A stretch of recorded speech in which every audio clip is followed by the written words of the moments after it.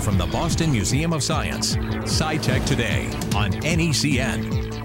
In SciTech today, scientists in Sweden have developed a super fast charging battery made from the most unlikely of materials, algae. Join me now from the museum's Gordon Current Science and Technology Center is Alex Fiorentino, our nanotechnology correspondent. So Alex, tell us about this algae-based battery. Uh, well, Beth, for just about as long as people have been using batteries, uh, we've been trying to make them last longer. So just think of our, our friend, the uh, Energizer Bunny here.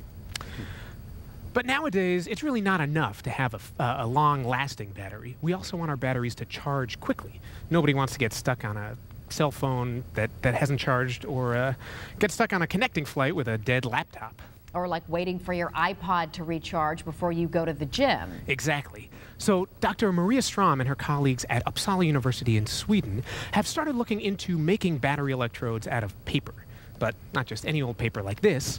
They actually made paper electrodes out of a, the fiber from common kind of foul-smelling algae that they pulled right out of the Baltic Sea. So why would they decide to use algae?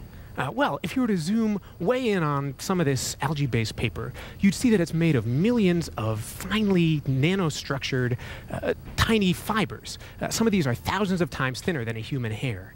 Uh, and so this algae-based paper is much more highly textured than regular paper. Kind of like the, the difference between this scrub pad and this piece of cardboard, only on a much, much smaller scale. Yeah, you can see the difference, but why, how does that make a battery recharge faster? Uh, well, if you run that animation we sent, I'll show you. All right, let's take the animation. When you plug in your battery charger, what it's doing is reloading the negative electrode with negative ions. In typical batteries, the electrodes are made of metal, and recharging can take minutes or hours. In this new battery, the electrodes are paper made of algae, and they absorb the ions much more quickly. The battery can recharge in as little as 11 seconds. The key here is the nanoscale textured surface of the algae paper, which provides lots of surface area for the ions to attach to. In this way, they can move in and out of the electrodes quickly, generating a very rapid recharge. Wow, so 11 seconds. When can we get these algae batteries? Uh, well, you can expect them even possibly within three years.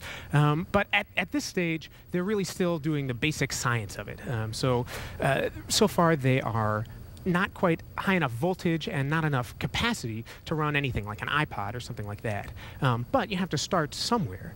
And so uh, these, these ba batteries are already able to be very, very lightweight and very flexible.